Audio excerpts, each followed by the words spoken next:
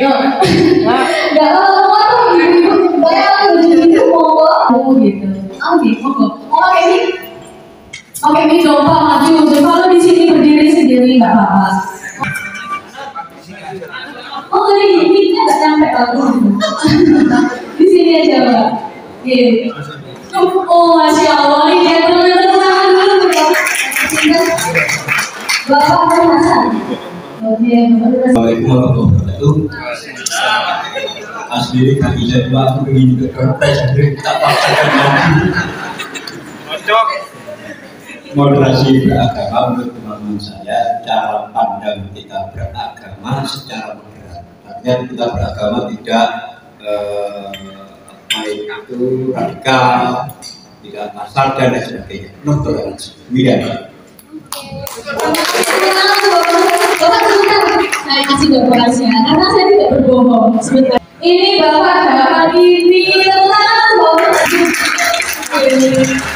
masih ada beberapa dompet lagi masih banyak ya Pak sekarang ya masih disediakan banyak monggo pada Bapak Ibu. Kalau tadi Pak Nur Hasan sudah menjelaskan tentang pengertian moderasi beragama, lalu selanjutnya ada nggak sih yang bisa menjelaskan tentang bagaimana sikap-sikap dalam moderasi beragama? Bagaimana sih bersikapnya itu? Oh iya monggo Bapak.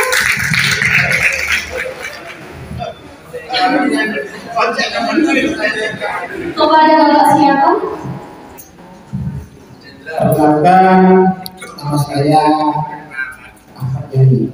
Jadi mengingatkan Bapak karena saya sama dengan Pak Beda. Ya. Saya dari delegasi dari kakak dan Jopa. Bukan Jopa Jopa, bukan Entar. Eh, tadi apa namanya eh, apa maknanya sebenarnya itu bersama-sama dengan ini Pak Nur Hasan juga dari Jawa. Ya. Jadi maaf yang oke, di Indonesia. Moderat itu kan kalau dalam bahasa apa sih? Tengah-tengah. Siapa yang nggak senang tengah-tengah? Ya. Jadi apa namanya pemikiran yang tengah-tengah, tidak ekstrem kanan, tidak ekstrem kiri. Ya. Kemudian cuma yang nanti oleh narasumber perlu dijawab, kayaknya yang disuruh moderat ini yang kita kumpul. Biasanya yang disuruh tobat orang yang bersalah.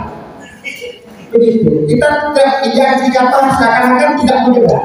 Makanya dia disuruh apa namanya mengikuti peserta seminar ini. Jadi seakan-akan kita di apa namanya dianggap tidak moderat. Kan begitu. Iya. Ya, ya. Nah. Terima kasih. Terima kasih Bapak Ahmad Yani. Sebentar Bapak. Masih ada. Di Bapak mau ada termos untuk kami. Sebentar loh Yani. Dan yang terakhir ada satu lagi mungkin ada yang mau maju. Oke, monggo Bapak. Silakan. Maju dong, Mbak. Ya,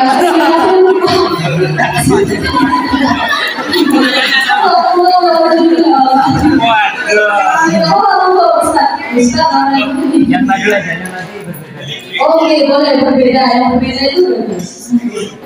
Oh tinggi sekali. dari Anjur, guru madrasah di MI di Nahdlatul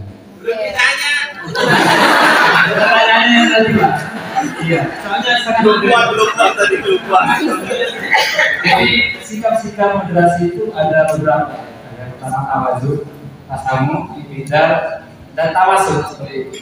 Tasamu, tawasul itu bersikap seimbang, tidak condong ke kanan, tidak condong ke kiri. Tawazul, tasamu, dan ibidar. Lebih lebih jelas nanti sama materi. Jadi kalau saya ada mengatakan ke kamu, nanti saya yang mengatasi. Seperti itu, ya. Terima kasih. Assalamualaikum. Kami ya tunggu.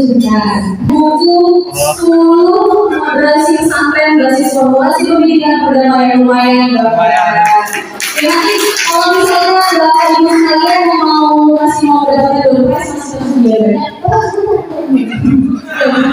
nanti bisa tanya kepada narasumber ya bapak-bapak ibu karena dompetnya lebih besar. Misalnya nanti Pak Hasan mau tanya lagi, boleh. Jadi banyak nanti dompet bawa pulang. Siap, siap. Terima kasih Pak Hasan, boleh kembali.